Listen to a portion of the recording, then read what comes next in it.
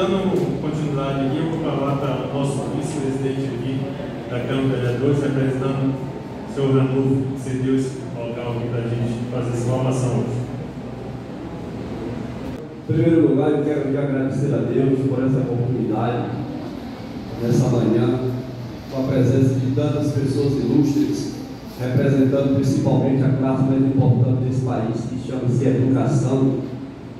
Eu estou vendo gente aqui, a diretora Nete, ali no Rio Preto, professor Josafá, também diretor lá do Ponto Chique, gente de Palmeirinha, é, professora Terrinha, lá da região de Altamira, representando também aquele pessoal lá do nosso amigo Nelson Santana ali embaixo. Tem gente aqui de todas as regiões, estou vendo aqui também ali do, da região de Getúlio, ali, é, é, Baixão, pessoas de Palmeirinhas, Ribeirão das Flores. Então aqui está muito bem representado, todos aí, Navapé, a nossa professora também está aí presente. É um motivo de muita alegria, Zé, é, podemos estar aqui nesse momento representando também o nosso legislativo, porque aqui é onde se faz tudo, onde se fiscaliza, onde se cobra, onde se traz projetos que podemos estar sempre ajudando ao nosso município. Sabemos que são muitas dificuldades, mas com Deus no controle e no comando a gente consegue resolver tudo.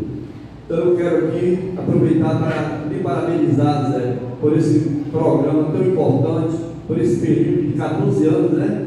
Que você está à frente desse sindicato, trabalhando, ajudando a, a nossa agricultura, ajudando ao nosso povo de Iguaí.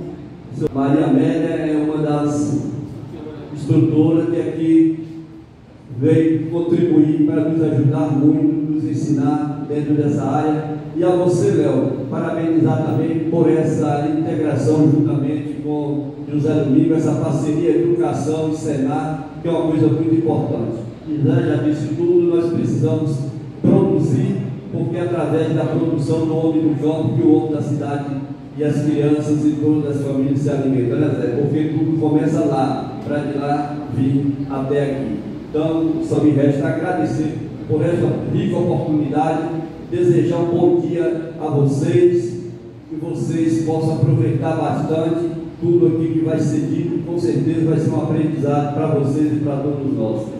Tem alguém também da, da minha querida Palmeirinha, que eu falei aqui, não estou vendo. A Aurelina está aí, alguma professora de lá representando Palmeirinha? Está aí? A Aurelina está ali.